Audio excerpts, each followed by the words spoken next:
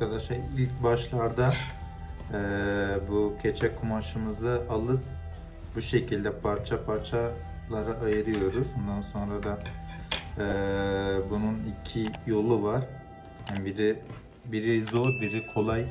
E, zor olanı şu şekilde oluyor. E, şu şekilde şuralarını dikiyoruz, şurasını dikiyoruz, şurasını dikiyoruz. Ondan sonra şu şekilde eee, şey yapıyoruz, yuvarla, yuvarlatıyoruz.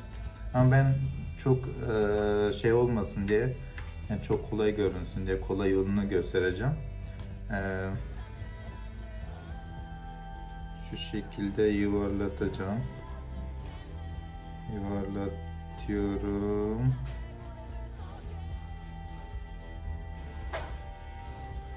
Ve şu şekilde yuvarlandı. Bunu eee iğnemle alırım. Bunu dikeceğim. Bunu da hafiften böyle hemen şöyle dikmeye başlayacağım.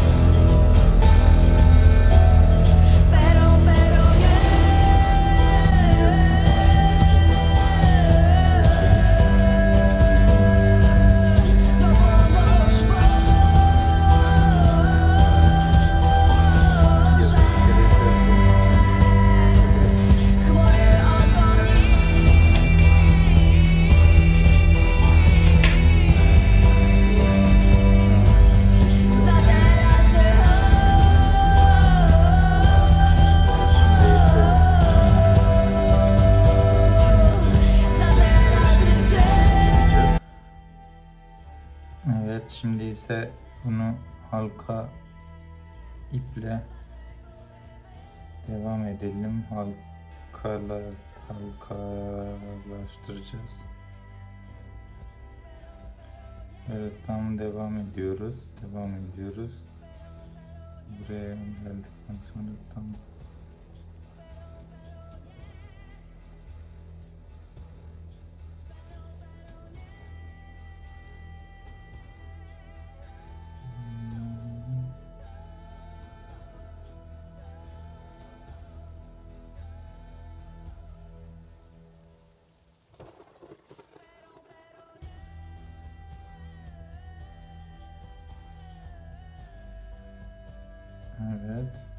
şekilde devam edeceğiz.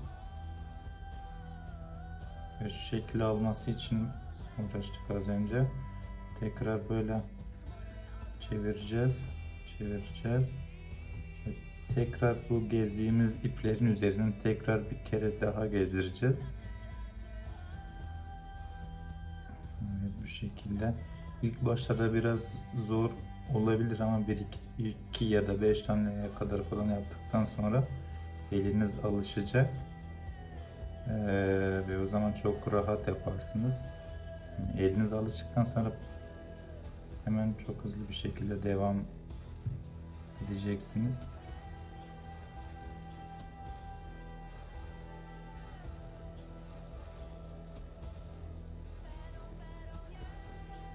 Evet. Burasını keseceğiz. Burasını kesip de makasımla şu kestiğim yeri normalde buraya burasını eee, bizim köyde dikiyorlar ama ben böyle çok rahat görünsün diye hemen burada atacağım. Ve attıktan sonra da eee, kumaş tutkalıyla sıkışmış. Kumaş tutkalıyla da üstüne biraz gezdireceğim. Daha sağlam olsun diye. Bu, bu taraf zaten arkada kaldığı için gözükmeyecek.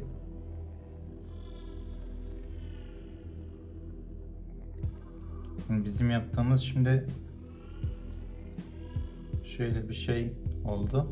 Şuradan bir tane kanca aldık. Bu inşaat telli. Ee, kendiniz kesim yaparak ve şekil verebilirsiniz bu kanca şeklinde. Ee, bunlardan bir tane böyle alırız. Böyle aldık böyle içine sokuyoruz. İçine soktuktan sonra kancayı da şöyle bir, bir yere takıp geri içine çekiyoruz böyle tak, takılı kalsın ve daha sağlam olacak bu şekilde. Şu peluşumuzdan şuna şey ölçü olarak keseceğiz. Biraz peluş keselim.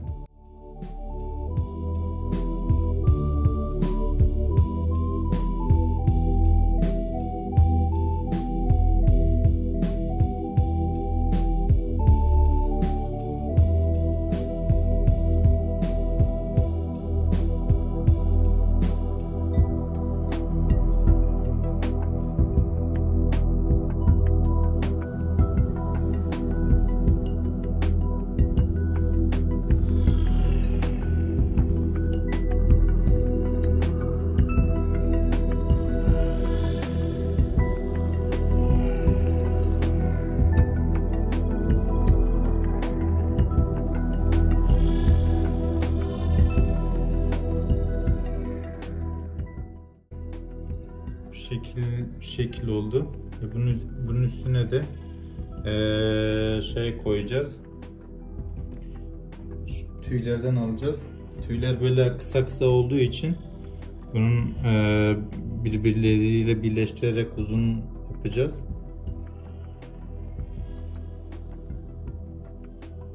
Şu biraz oldu. Bunu hemen yapıştırıcımla Yapıştırıcım, yapıştırıcım. Buradan. Evet. Şu şekilde yapıştırdık. Tamam. Böyle yapıştırdık ama daha bitmedi.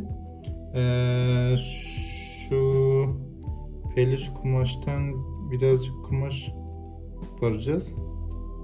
Ya da keseceğiz. Şöyle bir kumaş kestik. Şöyle şöyle bir yapalım. Şöyle de altını bir böyle yuvarlatalım. Bu şey gösteriş. Şuradan birazcık da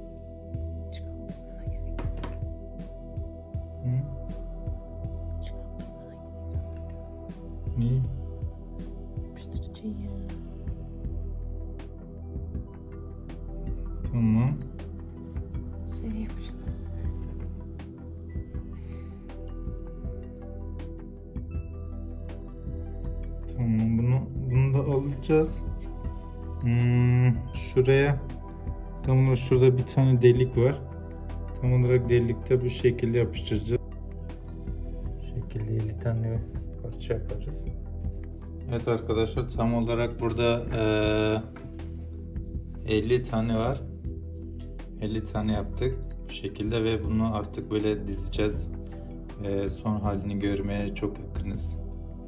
Evet arkadaşlar şimdi eee, keçe kumaşımızdan eee, 8'e eee, 42 santimetre olarak şey eee, kesiyoruz iki parça.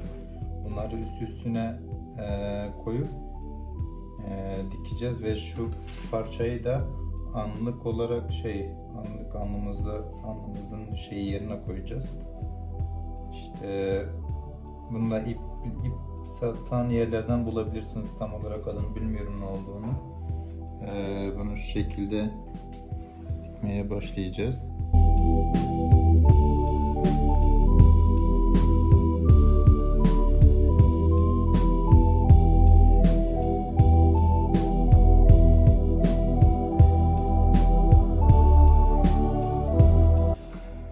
Evet.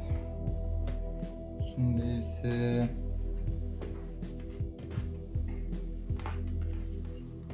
şek şundan şu şekilde e, katlayacağız. Katladıktan sonra şunu şöyle arkaya alacağız.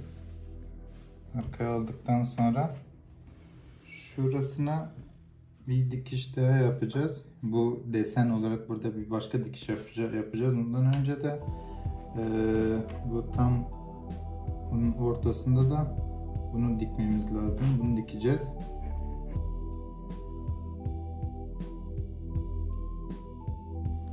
Evet arkadaşlar şimdi burasında eee X şeklinde desen vereceğiz.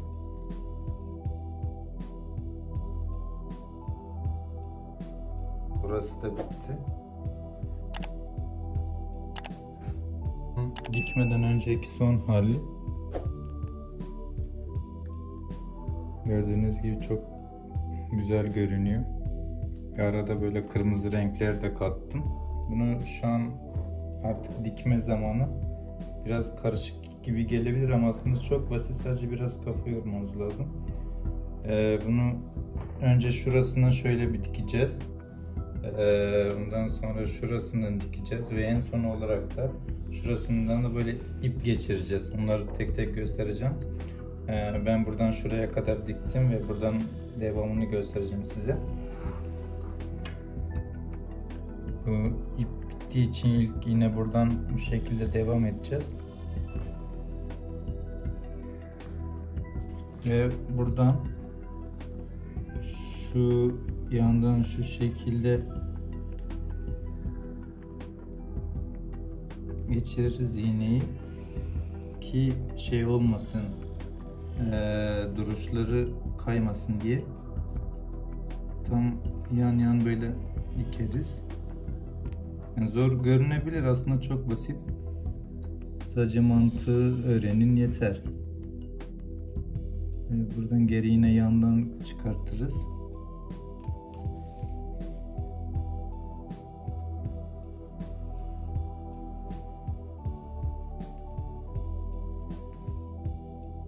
Evet. Böyle diktikten sonra böyle bir şeyini ayarlayabilirsiniz. Mesafesini. Ne kadar olup ne kadar olmadığını. Gayet güzel oldu. Ve şu hep önde kalacak şekilde dikişe devam edeceğiz. Şu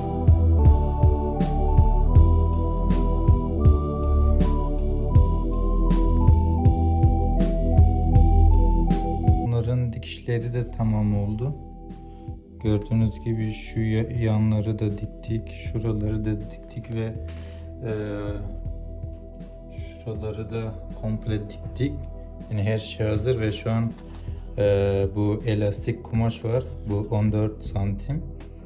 Eee, bunu şu şekilde burada şu şekilde takıp şöyle kafamıza bağlayacağız.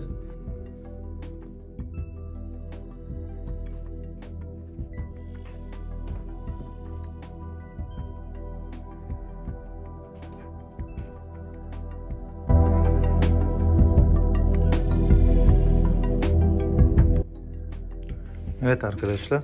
Şimdi bu komple bitti. Bu son hali. Ve çok güzel oldu. Biraz uğraştık ama değdi. Çok çok güzel oldu. Ve sonra da şunlardan yaptım. Ee, başta gösterdiğim malzemelerden yaptım hepsini. Bunları videoya koymadım çünkü çok süresi uzamasın diye. Ee, ve şundan yaptım.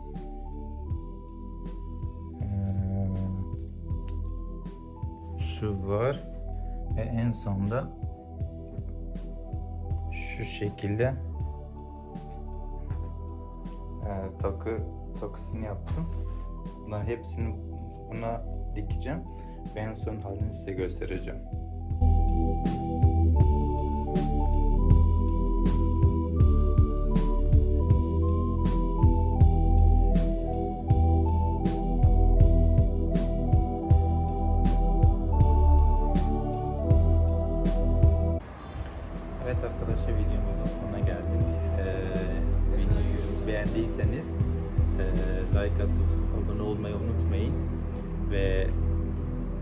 ilgili bir sorunuz varsa yorumlarda yazabilirsiniz. Ben en kısa sürede cevaplayacağım. Öpüyorum sizi. Bye.